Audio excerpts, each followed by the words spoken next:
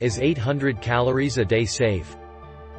A low-calorie diet is one that restricts your intake to 1,200 to 1,600 calories per day for men, and 1,000 to 1,200 calories per day for women.